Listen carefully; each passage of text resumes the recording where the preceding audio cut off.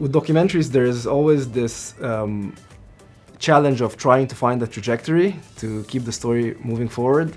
And with sports documentaries, this is baked in, in, into it. You kind of know that, okay, these people are trying to do good with their games, they're trying to win matches. So this was there, and the sports uh, on its own has its own excitement, so it's built in, in it, which is great. But also was a character-driven story. We have like different kinds of characters. We have the fans, we have the players, and we have Rob and Ryan, which are like amazing actors. Them being on screen was just like um, a great thing to have.